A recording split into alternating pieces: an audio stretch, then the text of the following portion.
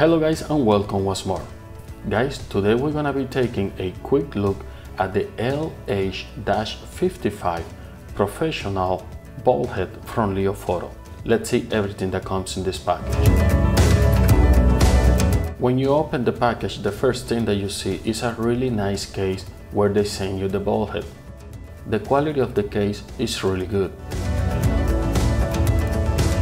After you open the case and you take the LH-55 out of the case, what you're starting to see is the amazing quality of this amazing ball head. On the right hand side, what you're gonna be able to see is the main knob. This knob allows you for you to free the main ball so you can position the top plate. After that, on the top, you're gonna find a quick release knob. This knob allows you for you to free the top plate where you position your camera. Right next to it, we find the quick release system. This is an Arca Swiss compatible system. On the left of the head, you see here two buttons. One is the one that allows you for you to lock or unlock the panning of the head. And the smaller one on the top is the one that manages the drag of the head. In the middle, you find the whole body of this amazing ball head. This head is built out of CNC machined aluminum. It has a hard anodized coating so you can use it in any environment without the fear that it's gonna get damaged. The build quality is amazing.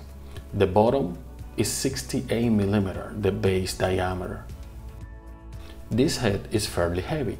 It is about 900 grams, but it holds up to 25 kilos of payload. Imagine 25 kilograms of equipment on a ball head that is not that big or that heavy. Now in this view, what you see here is the top plate. It is a Arca Swiss compatible plate. You will find all of the markings on the top of the plate. Also, you get a bubble level in there. If you lose the main knob just a quarter turn, you're gonna be able to move freely about 20 millimeters front and back so you can position your camera depending on the weight of your equipment. Okay, now this is the big knob. It's the one that loses the complete ball of the head. You can lose it and you can modify the drag proportion using this little knob on the top. Here we show you the quick release plate. The plate in the bottom, of course, it has the screw and he has two little screws which are the safety mechanism. Looking at the head from the top, we can see the massive ball. This is a 55 millimeter of amazing aluminum work. It's very smooth. The operation is seamless. In any case or any occasion, I have found this dragging me because it is not smooth enough. This ball is just amazing. I took it the other day to do a furniture shooting at the Yucatan Country Club and in all cases this ball performs beautifully. As you see, this is a very hefty head. It is beautiful build, it's amazing. Using this head on location is just a piece of cake. It holds a lot and allows you to do your job with no problem.